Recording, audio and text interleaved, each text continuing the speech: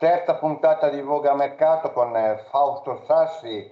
Fausto, cosa è successo questa settimana? Allora, da segnalare un movimento importante dalla borgata di San Terenzo, Andrea Callea passerebbe alla borgata di Canaletto, andando a rimpiazzare Alberto Zigniego. Non si sa ancora bene quali sono i motivi, però questa è la definizione nuova del Canaletto, con Decola, Olmi, Bertacchini e Zigniego.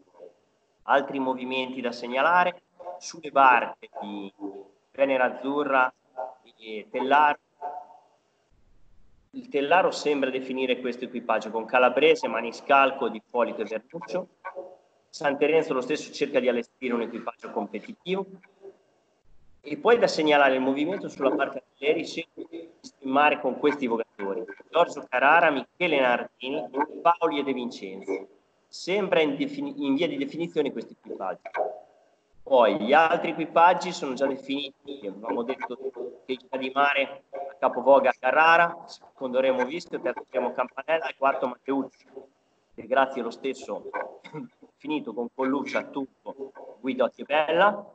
Il CRDD è definito con Mencacci, Pistarino, Madoni e Alessandro Mori.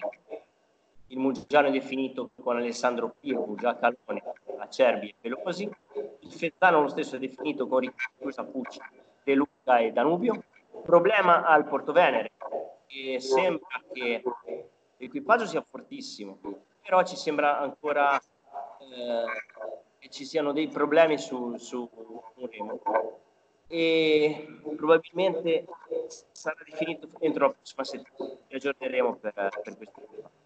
Secondo te possibilità del Porto Venere di arrivare alla fine? Settimana prossima? Il Porto Venere è un equipaggio molto forte.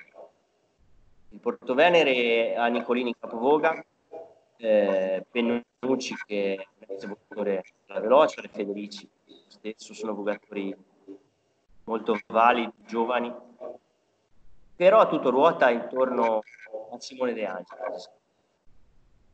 Possibilità di risolvere questa situazione settimana prossima? Ci sono buone possibilità. Se, ecco. se riescono a risolvere sarà un equipaggio veramente forte.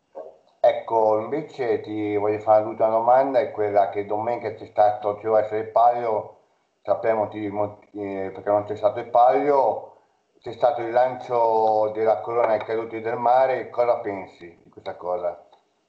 No, una cosa senz'altro positiva, eh.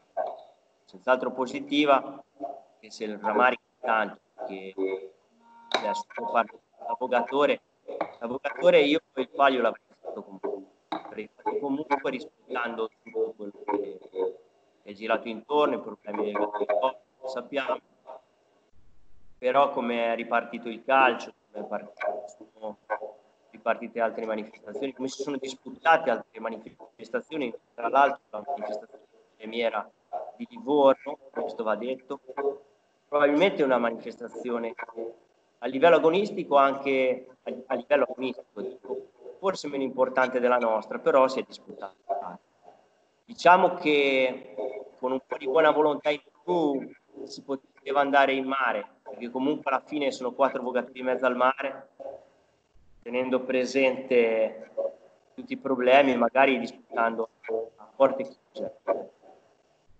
Grazie a settimana prossima. Grazie a te Patrizio